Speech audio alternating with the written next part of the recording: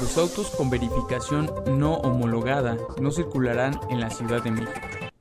El jefe de gobierno de la Ciudad de México dio a conocer que una vez que transcurra el plazo de los 60 días para que los estados que integran la megalópolis cumplan con el proceso de homologación de los sistemas de verificación vehicular, cuyas entidades no lo hayan hecho, no podrán circular en la Ciudad de México. Señaló que se instalará el sistema de protección integral de niños y niñas y adolescentes en la Ciudad de México, en el antiguo Palacio del Ayuntamiento.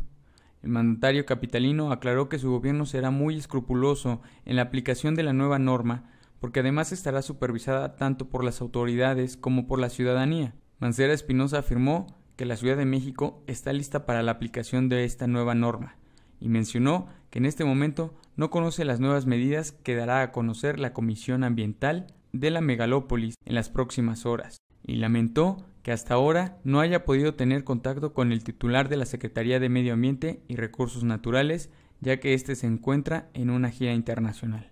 Te invitamos a que sigas nuestras redes sociales y que dejes tus comentarios.